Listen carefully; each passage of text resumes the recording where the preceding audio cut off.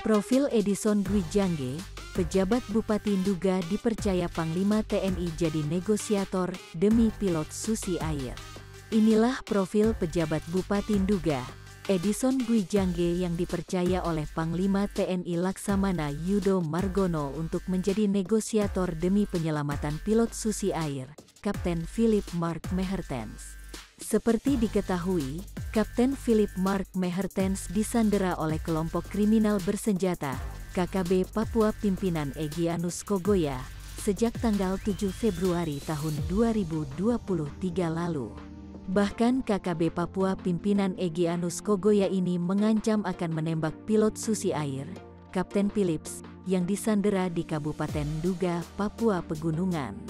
Untuk pilot, kita sudah percayakan kepada Pej Bupati Nduga untuk melaksanakan negosiasi, dan saat ini Pak Bupati dimonitor sedang berada di Wamena untuk menyiapkan pesawat, kata Laksamana Yudo Margono, Selasa tanggal 4 Juli tahun 2023 lalu, mengutip tayangan YouTube Kompas TV. Mengutip laman resmi pemerintah Kabupaten Duga, dugakap.go.id, Edison Gwijangge dilantik sebagai Pej Bupati Nduga pada tanggal 5 Juni tahun 2023.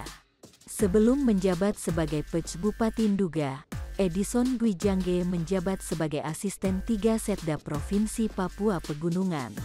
Edison Gwijangge dilantik langsung oleh Pej Gubernur Papua Pegunungan, Nikolaus Kondomo, di halaman kantor Gubernur Papua Pegunungan, Wamena, Kabupaten Jayawijaya. Dalam sambutannya, Nikolaus Kondomo mengatakan, pelantikan tersebut dilakukan berdasarkan surat keputusan Menteri Dalam Negeri nomor 100.2.1.3 1248 tahun 2023 tentang pemberhentian dan pengangkatan penjabat Bupati Nduga Provinsi Papua Pegunungan.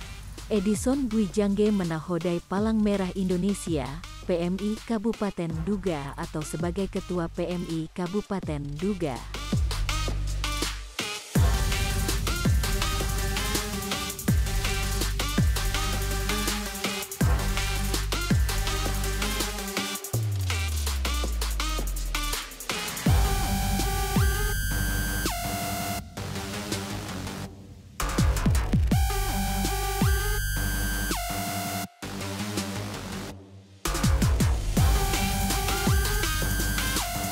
Terima kasih sudah nonton. Jangan lupa like, subscribe, dan share ya.